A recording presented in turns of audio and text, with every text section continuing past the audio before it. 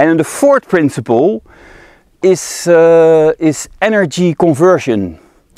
And what we mean with that, you can see, you can see that hill there as a solar panel. Imagine it's a solar panel. Where is the energy the most absorbed? And if energy is absorbed, it will also not heat up. Uh, probably it heats up. Uh, actually, I don't know, but yeah, maybe if we see, we can see if we put an infrared camera there, see where it is cooler and where it's warmer. And actually, if you happens, what if you see what happens now in the with the planet, it can be an interesting thing to look at. From hey, where where is it? Uh, but yeah, we want energy conversion. So for for for for farmers, it's important that uh, yeah, it's just bio bioactivity where. Uh, yeah, if this, it's greener there and more plants are there, it also means there's more food being grown.